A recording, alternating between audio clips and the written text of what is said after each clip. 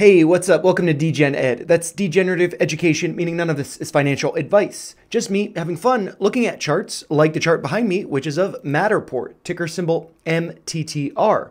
And so, on the day that I'm recording this, Tuesday, January 30th, Matterport closed at a price of $2.35, being up just a tiny bit, one penny, in the after hours.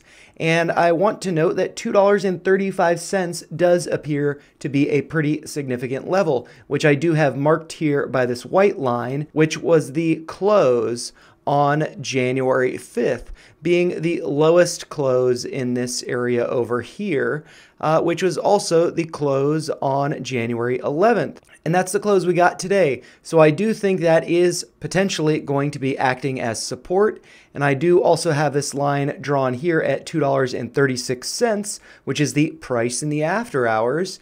And so I drew that expecting that to act as a little bit of support over here, us to see some consolidation around there. And that is exactly what we've seen. And during the last video that featured Matterport, that came out on January 17th when we saw the test of this bottom purple line at $2.19, having a low on the day of $2.18, only to be beat two days later on January 19th, hitting a low of $2.14 with that nice wick or tail of that candle coming down, being a great buying opportunity down there. Following that day, the price did gap up, and I'm actually going to mark that so we can see that there is a gap right around $2.26. So that does need to be filled at some point, uh, but it might be a little while before we see that gap filled. So good to be patient with that unless we do see price break down, break below $2.35 tomorrow on Wednesday, January 31st, the last trading day of the month, the last day of the month.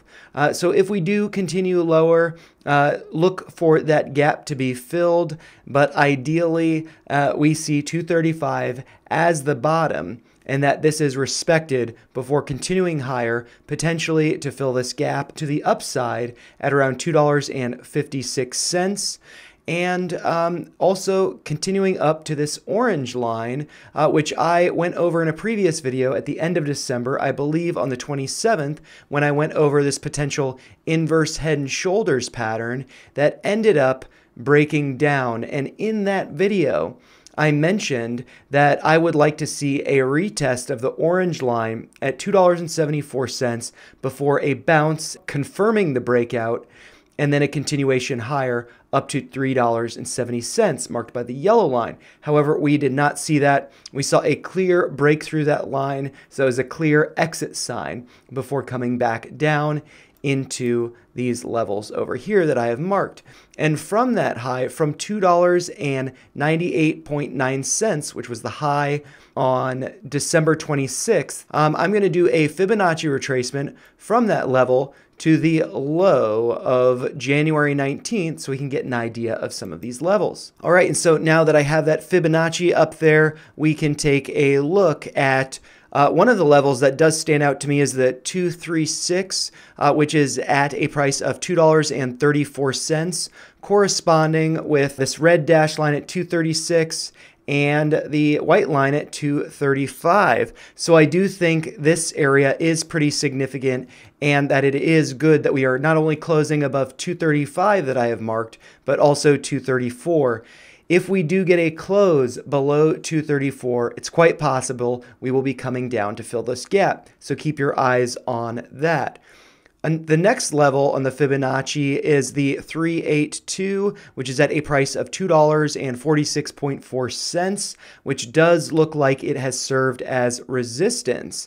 We see the pullback on the day uh, January 30th of almost 5%, 4.86% down on the day. So hopefully we can get a move back up to reclaim that. It is encouraging, however, that this red candle day was not a bearish engulfing candle. So I do think there is some promise that we could see a rebound over the course of this week. The next level up in the Fibonacci is the 50% retracement at a price of $2.56.4, which corresponds nicely with the gap fill. But do keep in mind that there is a pretty big volume shelf at 256, so that I suspect will be notable resistance moving forward. The next level up, the 618 at $2.66.5, something to look forward to, but perhaps maybe a couple weeks down the road as we we first need to tackle this gap. Then, of course, the orange line at 274, and then another gap to the upside at $2.82, which corresponds pretty nicely with the 786 retracement at a price of $2.80.7. So hopefully we do see the level of 234 respected over the course of the rest of this week, and we do see another attempt at $2.46. Uh, but if we do get rejected there again, that might be a double top. So keep that in mind as there could be a pullback to this gap. So don't be faked out by that.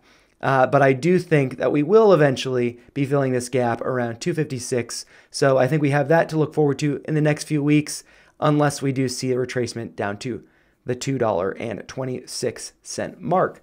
But, you know, those are just my thoughts. If you found them helpful, make sure you like the video, share your thoughts in the comments down below, and subscribe to the channel for more videos like this. Thanks a lot for watching.